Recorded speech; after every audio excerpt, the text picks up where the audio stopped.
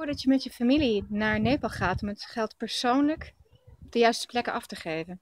Ja, we gaan, eh, eh, in oktober gaan we erheen. We gaan reizen zelf af naar het gebied, of zo ver mogelijk. Eh, we zullen zelf met de mensen lokaal daar praten wat ze nu nodig hebben. En dan schaffen wij met dat geld de middelen aan om die opbouw te kunnen financieren. En dat is met deze mensen. Kijk, een half Nepali. Oh, yes, sir. Yeah? Are you going to Nepal? Are you going to Nepal soon?